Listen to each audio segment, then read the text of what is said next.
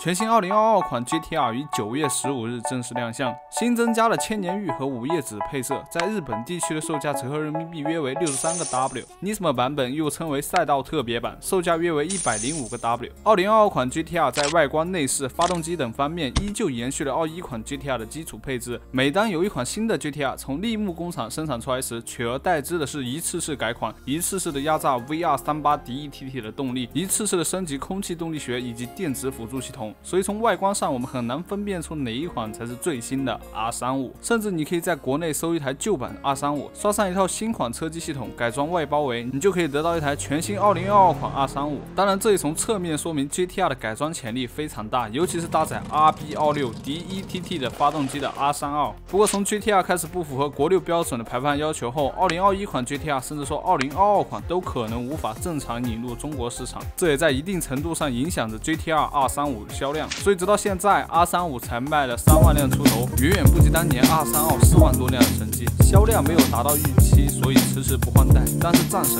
依然还是那个战神。第一代日产天际线 GTR 诞生于1969年，由天际线之父的日产工程师樱井真一郎研发。受到曾经在欧洲观看 F1 赛事比赛的影响，在1957年，他被王子汽车公司任命去打造一辆赛车，这就是 GTR 的祖先 Skyline 2000 GT。两千代表排量是两千毫升，GT 则代表豪华旅游车的标准。这款车型的设计让我一度认为是从一九五零年代中期雪佛兰和福特汽车的造型中摄取的设计灵感，整体和当年的美国车非常相像。不过在一九六六年，由于王子车厂经营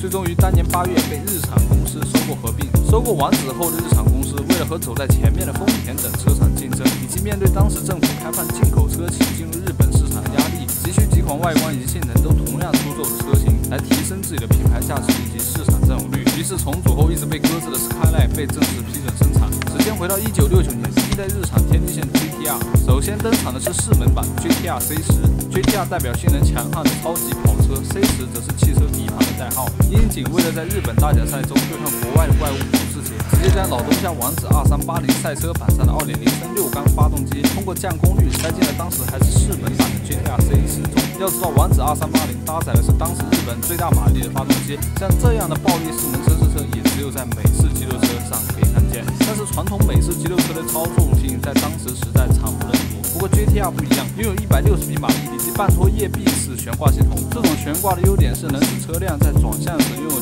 加的稳定性。这一切当然都在樱井真一郎的计划当中。第一代日产天际线 GTR C10 的操控性以及平衡性的表现都非常优异。樱井真一郎似乎找到了成功秘诀：大马力发动机的强悍性能，再加上小巧车身的可操纵性。于是，在1977年推出了 GTR Coupe 双门版，拥有更短的轴距以及更宽的车身，使其变得更加具有攻击性。最重要的是，双门 Coupe 车型拥有更宽的轮胎以及尾翼的设计。毫无疑问，这辆 GTR 是当时日本马力最大的车辆。于是，在1969年到1972年期间，这两款 GTR 一起在赛场上立下赫赫战功，用49个冠军的战绩步入神坛，坊间封号“东瀛战神”。第二代天际线 GTR 在1972年9月被樱井重新设计，代号 KBJ C110。为了方便推广第二代天际线 GTR 出口到欧美市场，所以樱井和他的团队借鉴了当时美式肌肉车的形象，和同时期的野马、科迈罗、彭迪亚克火鸟等经典车型一样，都有拉风的溜背造型以及修长的车头。为了营造美式风情，这一代 GTR 的宣传片还打造了一系列 King 和 Mary 的暧昧故事，所以这一代 GTR 也经常被称为 King Mary。或许是第一代 GTR 的大获成功，让樱井团队麻痹了神经，抛弃了以往的成功秘诀，只顾着设计造型，而忽略汽身本身的动力以及操控性。由于车体大幅增加，动力单元却没有变化，造成马力重量比数值的不佳。同年十月，第四次中东战争爆发，为打击以色列及其支持者，作为石油输出国组织的阿拉伯成员国，在当年十二月份宣布收回石油标价权，从而触发了第二次世界大战之后最严重的全球石油危机，导致大马力烧油跑车的需求量急速下滑。对于 GTR 而言，这更是一场噩梦。它从发布到停产仅仅坚持了四个月，也就是从1972年9月开始发售，在1973年3月份就宣布了停产。第二代天际线 GTR 生产总数也仅有一百九十七台，这也是唯一一代没参加过任何赛事的 GTR。这次停产对于日产而言是个不小的打击，但也让日产学会了沉淀。虽然天际线车型仍在更新换代，但 GTR 却进入了一个空窗期。不过第二代 C 幺幺零还是给 GTR 留下了重要的遗产，就是那对称之为经典且是 GTR 车系灵魂的四圆形货尾灯。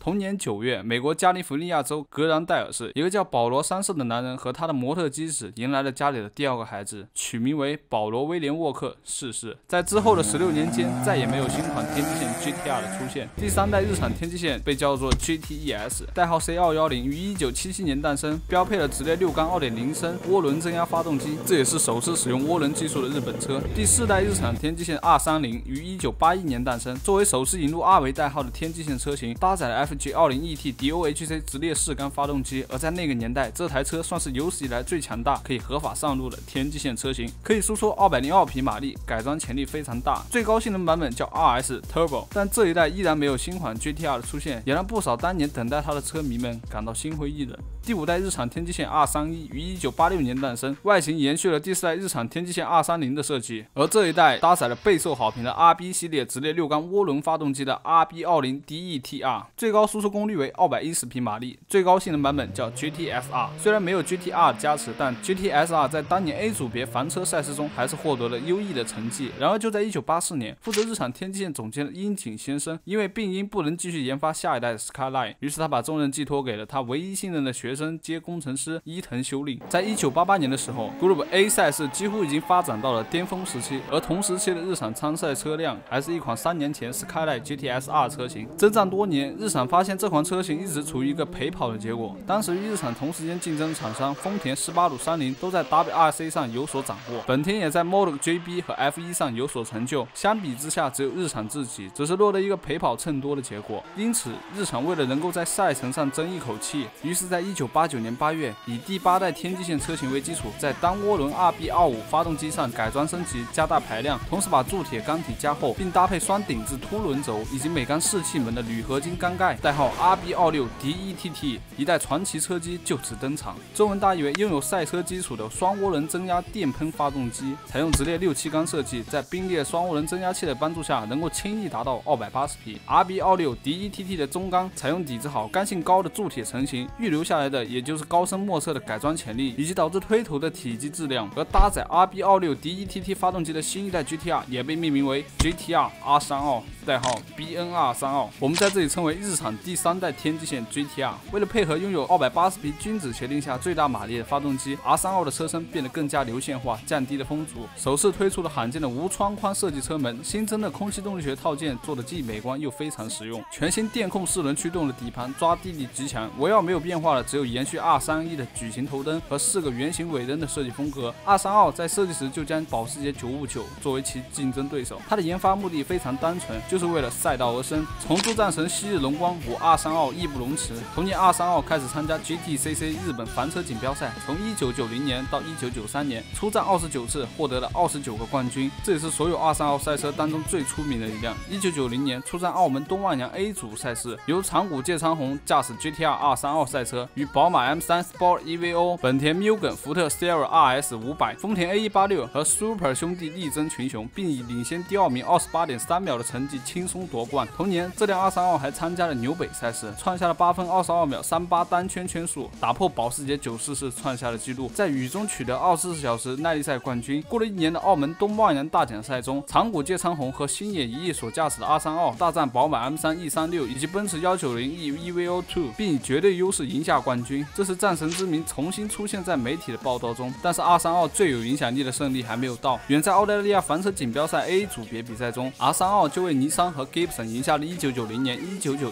年、1992年连续三年澳大利亚房车锦标赛 A 组别的冠军。比赛中不可阻挡的表现，也为这辆怪兽赢得了一个称号——哥斯拉。由于 RB 系列的铸铁缸体发动机实在过于强悍，FIA 厌倦了 GTR 长期对于 A 组别比赛的统治力，于是，在1993年澳大利亚房车锦标赛。强行改变规则，禁止四驱和涡轮增压的使用，强行将 GTR 排除在外，迫使一代战神退出了赛场。不过，232的传奇依然还在其他衍生作品中继续书写。历史总是是非常相似 R32 的成功已经让日产失了智。日产想用更舒适、更豪华的 GTR 笼络那些仰慕 GTR 之名的人，于是，在1993年发布了日产第四代天际线 GTR 233，比 R32 更长的车身轴距，比 R32 更加圆润的外观，也被人戏称为买菜车的设计。但事实证明。长轴距以及全新设计的空气动力学外观，使得 R33 在减少车头风阻的同时，能在加速过程中操控变得更加稳定。全新电动四驱系统，同时也解决了前代232转向动。动力不足的问题，但遗留下来的车重问题依然没有得到解决。所以在那个跑山时代日本，R33 失去了用武之地。真正属于 R33 的战场是湾岸、首都高以及赛道。在当时的纽北，R33 单圈成绩比 R32 还要快二十秒，七分五十九秒的单圈记录也让 R33 成为第一辆在八分钟跑完纽北的性能 Coupe。同年，由日产赛事部门 Nismo 打造的 R33 限量版本 R33 400R 被委派参加 GT 赛事，甚至还跑过勒芒二十四小时耐力赛的最高组别，与保时捷911、迈凯伦 F1、奔驰 CLK GTR 等同台竞争。无奈遇上了神仙打架，R33 只能抱着失败回到日本。于是 Nismo 下放了在热芒比赛中的技术，将赛道版 RBX GT2 的发动机功率调低，直接装在了街车上，号称只有400匹，但实测马力达到了450匹。在瞒报马力这件事情上，日产就从来没让我们失望过。而这一款 R33 也被称为第一款打破君子协议的车。不过，如同 GTR 热芒赛车一样，面对欧洲列强的最前沿技术，GTR 在当时毫无招架之力。由于老平台的局限性，最终也导致 R33 的销量只有一万六千台左右，远不如 R32 的一半。最终，在1998年，最后一代日产天际线 GTR R34 搭载 RB26 系列发动机的最后绝唱，代号 BN234 终于登场。日产终于明白，没有人会在 GTR 上寻找舒适性，他们需要的是很大的外形、敏捷的加速及凌厉的操控。所以，全新 R34 在车身上变得更加硬朗，空气动力学的外观继续升级，车头巨大的进气格栅，比三菱战神 EVO 系列还有醒目的大型尾部定风翼，加上全新设计的扰流板，使其前部升力系数仅为一，无不具有攻击性。改良为高光照明的外大内小的四元尾灯组合，都在透露着一个同样的信息：